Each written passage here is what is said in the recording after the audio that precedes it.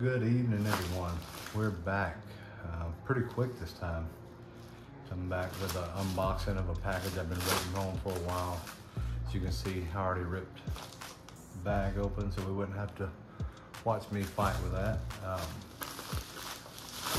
so this is a package I've been waiting on from the LCDH Customs. They um, do custom roll Cuban cigars and I ordered the Papo. Ooh, be careful. Papo BHK 54s. So these are uh, I don't know what the right lingo to use is. Custom rolls of the Cohiba um, Behike 54.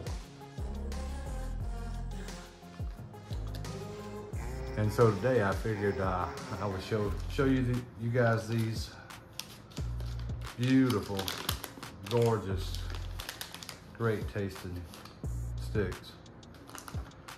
As you can see there, just beautiful color.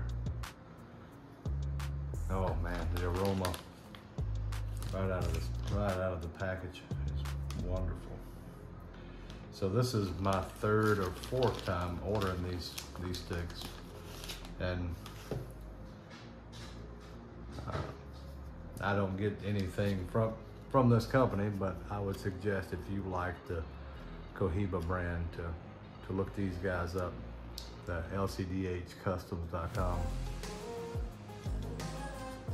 really, really good, good stuff. I have some Lanceros and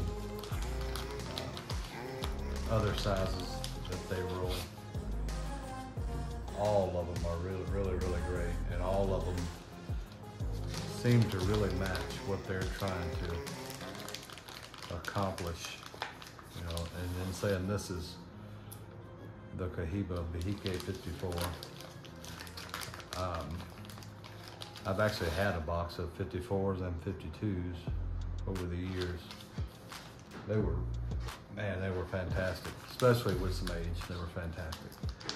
But for the for the price, man, these are the closest thing you could possibly want to get to to a to a Hike. They are so good, so delicious. The only thing I've been wondering is how much better would they be if I stopped putting my hands on them and put some age on them? You know, if I've got a year in the humidor, how much better would these sticks be? You know, I've ordered 10 last month and I got three remaining. I ordered those 10 with the intention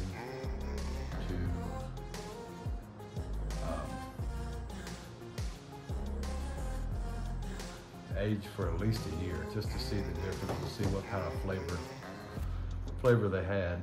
Um, but of course, I smoked them all except for four, so you can see here.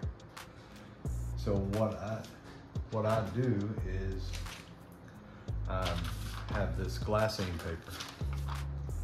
And I just make some handwritten labels of what the cigar is when I purchased it and so I'm gonna try my hand again at this and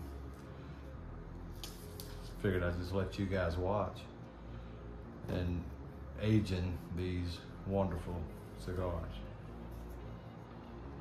Hopefully this time I can stick to it and not smoke them. Um, the last two, they're just so good. Um, right from the from the factory, they're so good. I just can't help but to smoke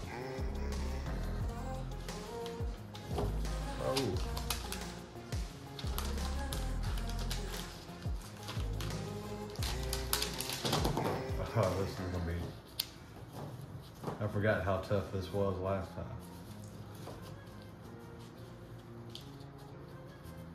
I don't know how the the rollers and packers do this in, in the factories because it is not an easy task. whatsoever. So what I do is I like to try to keep the bundle together in the glassine paper. And then I stick them in the back of the humidor for as long as I can without reaching, and grabbing them, and ruining the aging process that I'm trying to accomplish. There we go. So they're protected. Uh, what I've found over the years is cigars always age better if you keep them bundled together this way. Uh, and you can definitely tell that by just waiting to wait three months, pull these back out of the humidor and just smell the foot. It'll tell you everything you need to know.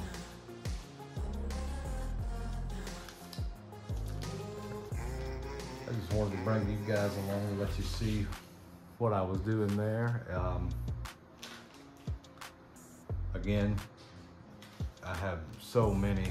Uh, these are my Bolivar Belicosos Finos. Um, I had a box of these from 2021 and I had, I think, six left at the time. So I pulled them out, bundled them together tightly in the glassine paper and just been letting them age ever since. Of course, I snuck two more out, smoked them, but hopefully I can leave them alone and let them sit and age in the humidor, try one, you know, next year the year after, and just continue on. But my plan with these is to let these get a year, as I, I still have four more of these in the humidor, or sorry, that I've been aging since July, June. So let these sit for a year, come back to them next August, see what the differences are, and uh, possibly order a couple of bundles of 25 and just, just stock the humidor. I mean, these things are that good. If you get the opportunity, look up L- LCDH Customs, uh, try several different um, options that they have. You know, they got the BHK 52, 54, 56, uh, Lusitanias, gold medals, um, Cohiba, Lanceros, just about anything you could you could want to try from from Cuba without the price tag. And man, they are just as good. Look them up, give them a shot, leave them comment on what you thought about them. That's it for tonight, guys. Please remember to like and subscribe and let me know what you think about the content.